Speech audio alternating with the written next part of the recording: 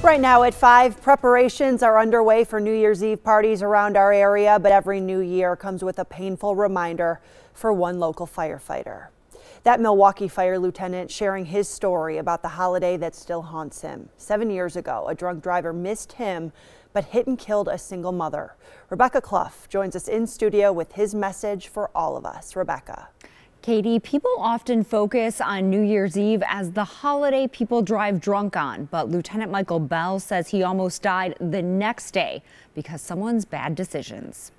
I thought that, that this was it, that this was this was going to be the end. That's what Lieutenant Michael Ball was thinking as he was heading into a shift at the Milwaukee Fire Department on New Year's Day, 2011.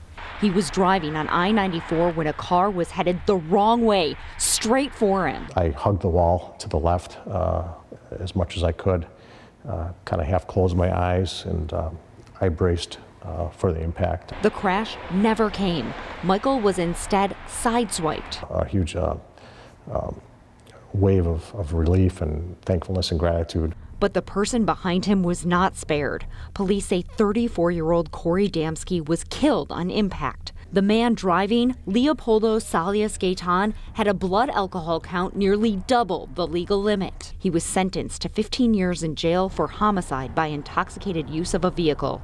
Corey Damsky was a single mother who left behind a little girl. Every January 1st, I think about that again. Does it make you feel like you have a message to give? We want people to rein in the new year and enjoy themselves doing that, but, but to think about um, the night before you go out. Think about how you're going to get home.